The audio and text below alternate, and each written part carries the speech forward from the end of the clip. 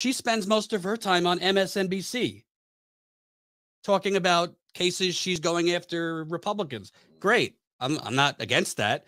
She has not had to answer to anyone. She's lucky that she ran against for reelection a, a crackpot.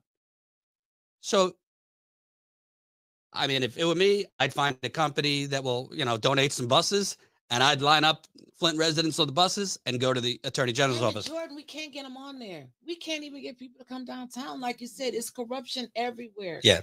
People are tired. And people are scared too. People are scared of, of speaking out Yes, because in. Flint, you speak out too too much, you might get a tax lien on your home. You might get a bill. Uh, you know, I've talked to people. Suddenly, they spoke out.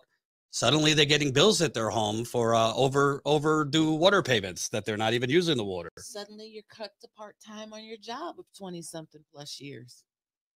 Stuff happens. I know, and this will be in my book too. I know activists who spoke out who had their uh, brakes cut.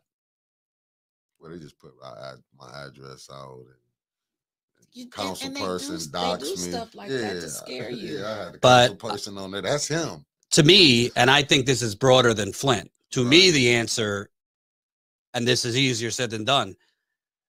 Listen, people could protest in the streets till we're blue in the face. Yeah. We could keep protesting